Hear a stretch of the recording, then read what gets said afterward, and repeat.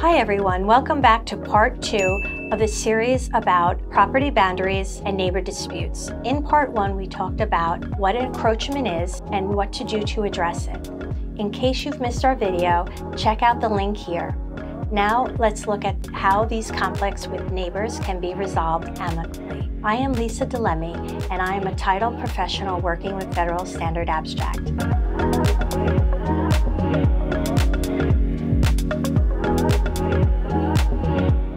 Let's get started. Resolving boundary disputes with your neighbors on your own. The most effective approach is direct communication. Foster a friendly and empathetic atmosphere with the aim of finding common ground.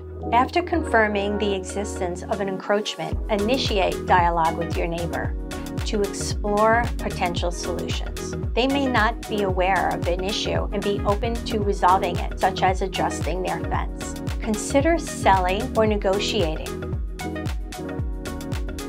Selling the portion of land that's encroached upon to your neighbor is a viable option, but it requires careful consideration. This intricate process involves negotiation, legal transfers, survey work, and updates to tax records. It is not a standard solution unless the encroached area is substantial or involves a structure, such as part of your neighbor's garage or building. Mediation as an alternative.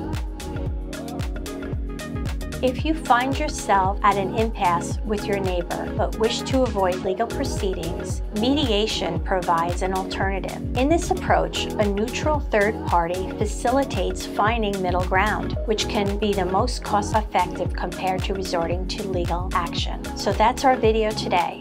I hope you enjoy our series and now have a better understanding of encroachments and boundary disputes.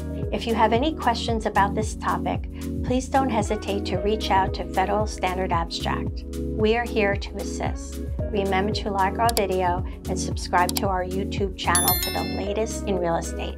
We'll see you next time.